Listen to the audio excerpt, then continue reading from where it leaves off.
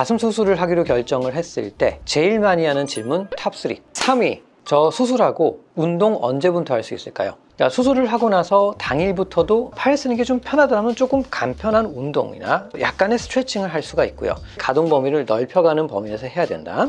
두 번째, 회복이 언제 되나요?